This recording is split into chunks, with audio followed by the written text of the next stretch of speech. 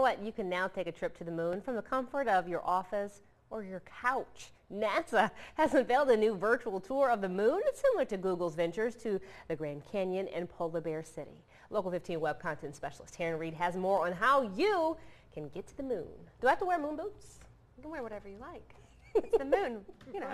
So NASA has created its first ever interactive map of the lunar North Pole. It includes more than 10,000 different photos all put together. Here's a photo from tech website Mashable. NASA used two cameras on its lunar reconnaissance orbiter to take this photo. Now to give you an idea of how big this photo really is, it would take up the space of a regulation U.S. football field if you printed it out.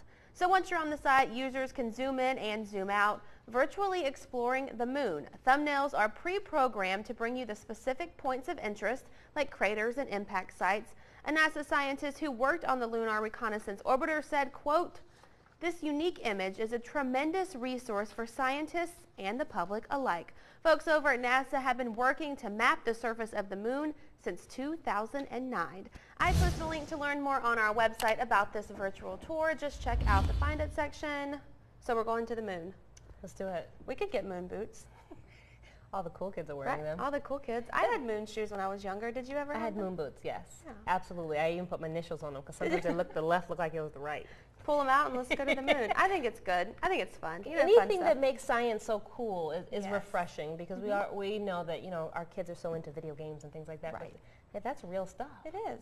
You're awesome. Thank you. Thanks, T. Reed.